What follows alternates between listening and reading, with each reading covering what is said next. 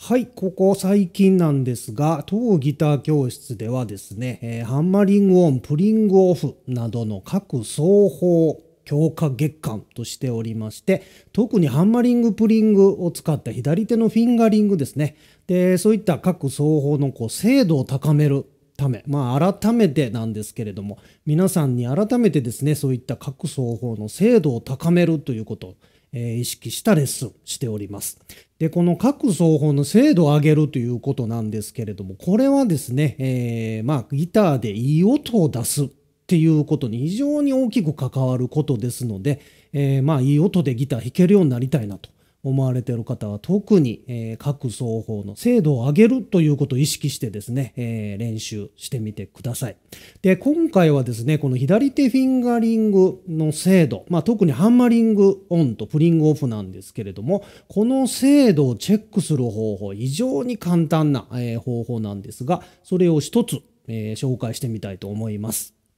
で、この方法、えー生徒さんに試していただくんですが、えーパッとすんなりできる方、かなり少ないです。ですから、この紹介するチェック方法、えーすんなりできるよという方は、かなり左手のフィンガリング、フォームとかですね、指の動かし方はもう完成の域に達してるんじゃないかなと、えー思います。で、今回こういう歪んだ、えーディストーションかけたサウンドに、えーしております。で、実際に何をするかなんですけれども、めちゃくちゃシンプルでして、1弦12フレットに人差し指置いてください。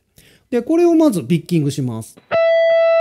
で、ここからはもうピッキングせずにですね、次中指で13フレットハンマリング、薬指で14フレットハンマリング、で、小指で15フレットハンマリング。で、ハンマリングしている最中はもう、えー一度押さえた、えー指はもう離さないということですね。ですからまずはハンマリングオンだけで12から15フレットまで、1弦だけですね。上がります。で、このままもうピッキングせずにですね、今度は15フレットの小指をプリングオフで弾いて14フレット。で、次薬指14フレット弾いて13フレット中指。で、最後中指弾いて12フレットの音出します。これだけなんですね。で、これをもう最初だけ、最初の1音だけピッキングしてですね、あとはもうずっとループさせて、で、このまま上がっていきます。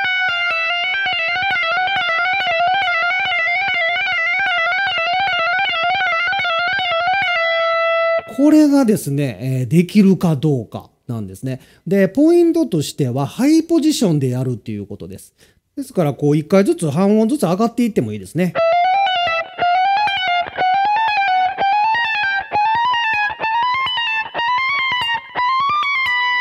みたいな感じで今、えー小指が22フレットに行くまで上がってみたんですが、で、22フレットあるギターの場合はもう一番、えーハイポジションになるんですけれども、こういう感じでハンマリングの音もプリングオフの音ももう綺麗に一音一音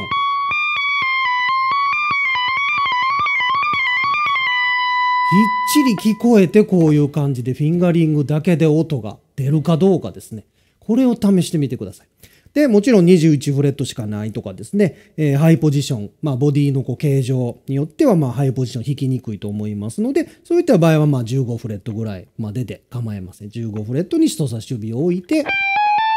うに。こういう感じで、綺麗に一音一音音が出るかチェックしてみてください。まあ、これが軽くできるよという方はかなり左手のフォームとか動かし方ですね。フィンガリングに関してはもう完成の域に達してると思います。で、これができなかったという方はですね、えー時々こういったフレーズ、えー弾いてみて、えーきちんとなるようになってるかなっていうふうに、えー時々チェックしてみるといいと思います。で、今は、えー結構歪んだ音でやったんですが、これクリーントーンだとじゃあならないのかっていうことですよね。では、クリーントーンでちょっとやってみましょう。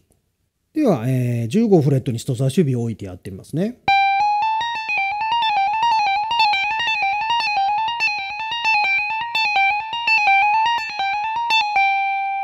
こういう感じでクリーントーンでもですね、しっかりと左手フィンガリングできていれば、えーこれぐらい綺麗になるんですね。で、あと大事なのはですね、えーよく生徒さんでもあるんですが、これをやってくださいって言った時に、えー一つ一つの音のこう、長さが変わってしまう人が多いです。ですからこれ全ての音が同じ長さでまず弾けるかどうかっていうのが大事なんですね。ですからまあ6連符とかでですね、1、2、3、4、5、6みたいな感じで返ってくる。これは6連符の、えー、6連符をまあ意識した。1、2、3、1、2、3みたいな感じ。このリズムでしっかりですね、リズムキープしたままできるかどうか。で、先ほどはすごくスピード上げて弾きましたが、スピードというよりもですね、スピード落としても構いませんので、しっかりこうリズムキープしたまま。1、2、3、1、2、3、1、2、3。これが例えば、なんか小指をプリングするときだけいつも急いでしまうとかですね。そういう風な感じになっていると、やはりまだまだ力の入れ方とか左手のフォームとかですね、え、指の動かし方とか、そのあたりまだまだ改善の余地があると、えー、思っていただけるといいかなと思います。ぜひ皆さん一度ですね、チェックしてみてください。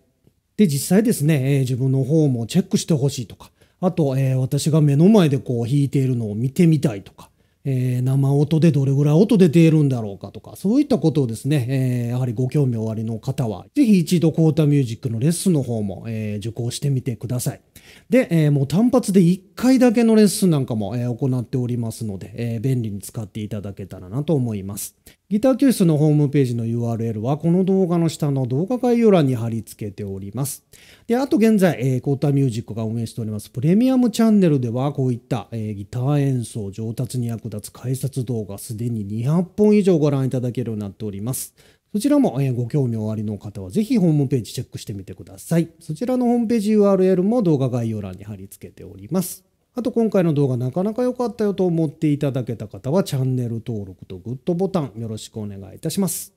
この度はご視聴いただきまして誠にありがとうございました。